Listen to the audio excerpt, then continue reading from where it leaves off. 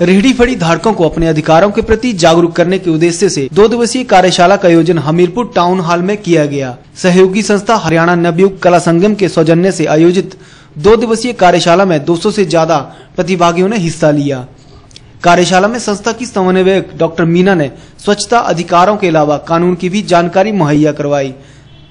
रेहड़ी फड़ी व्यापारियों के लिए साफ़ सफ़ाई, आजीविका कानूनी अधिकार विषयों पर दो दिवसीय प्रशिक्षण कार्यशाला के समापन अवसर पर नगर परिषद अध्यक्षा सुलोचना देवी मौजूद रही।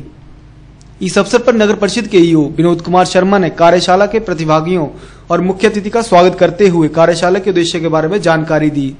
प्रशिक्षक राजकुमार ने बताया कि इस कार्यशाला में रेडी फड़ी व्यापारियों को कानून संबंधी जानकारी देने के साथ साथ साफ़ सफ़ाई की जानकारी भी दी गई। नगर परिषद हमीरपुर के सौजन्य से रेडी बड़ी वालों के लिए दो दिवसीय कार्यशाला का आयोजन किया गया। 16 मई से हमने इसको स्टार्ट किया। आज इसका समापन हुआ है और जिसमें 200 से ज़्यादा स्ट्रीट वेंडर्स प्रतिभागियों ने भागीदारी अपनी प्रस्तुत की। इसके अंतर्गत नवयुवक कला संगम संस्था है, जिन्होंने दो दिन का कार्यशाला हमारे स्ट्रीट वेंडर्स के लिए की। इसके अंतर्गत हमारे स्ट्रीट वेंडर्स के कानूनी अधिकारों के बारे में, साफ़ सफ़ाई, स्वच्छता और सारे जो भी उनके मौलिक अधिकार हैं, उनके बारे में चर्चा की। साथ ही में आज एन इकाई की तरफ़ से हमने स्ट्रीट वेंडर्स के साथ मिलकर आज एक शपथ भी ली, जिसमें हम लोग वेस्ट सेग्रीगेशन के ऊपर काम करना चाह रहे हैं और हमारे सभी स्ट्रीट वेंडर्स ने एक प्रण लिया है कि हम अपनी रेडी पर गीला कचरा और सूखा कचरा को अलग करेंगे और नगर परिषद हमीरपुर को साफ़ करने में और सफ़ाई में, पूरे भारतवर्ष में एक अच्छा मुकाम प्रस्तुत करना चाहते हैं। वहीं सहयोगी संस्था हरियाणा नवयुग कला संगम की समन्वयक डॉक्टर मीना ने बताया कि दो दिवसीय शिविर के दौरान रेहड़ी फड़ी धारकों को उनके अधिकारों के प्रति जागरूक किया गया है। तो स्वस्थता के अलावा कानून की अहम जानकारी भी मुहैया करवाई गई है।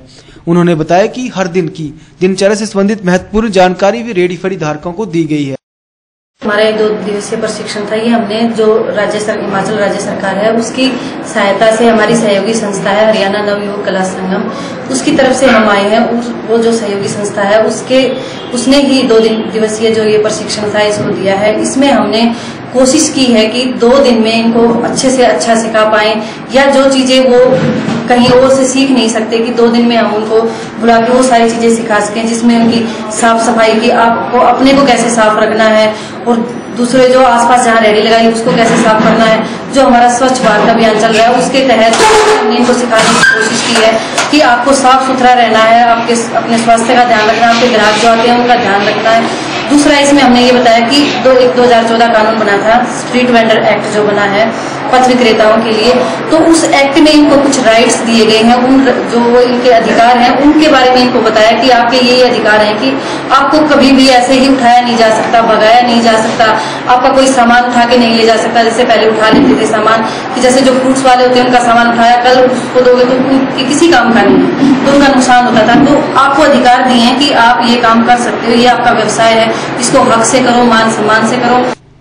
वहीं कार्यशाला के दौरान मौजूद लोगों ने बताया कि दो दिन की कार्यशाला में बहुत कुछ सीखने को मिला है और अपने अधिकारों के लिए कैसे संघर्ष करना है, स्वच्छता कैसे रखनी है, इन सभी बातों की जानकारी कार्यशाला के माध्यम से मिल पाई है।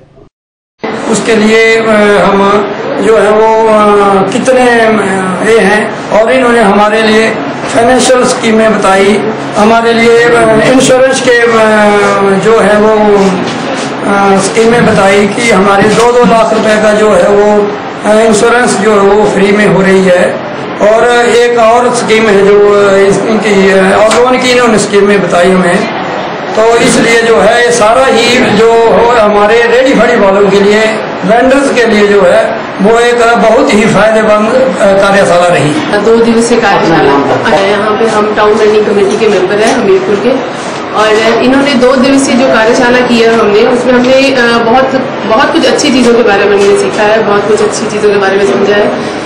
दो दिवसीय कार्यशाला में इन्होंने हमें जो वेस्ट सेग्रीगेशन के बारे में बताया और हमारा जो फाइनेंशियल जो हम, कैसे हम स्ट्रॉन्ग हो सकते रिसोर्सेज के बारे में बताया लोन के बारे में बताया, मुद्रा के बारे में बताया, जो हम लोन लिमिट जो भी जैसे भी आप कर सकते हैं। कैसे हमें अपने कस्टमर्स को कैसे डील करना है।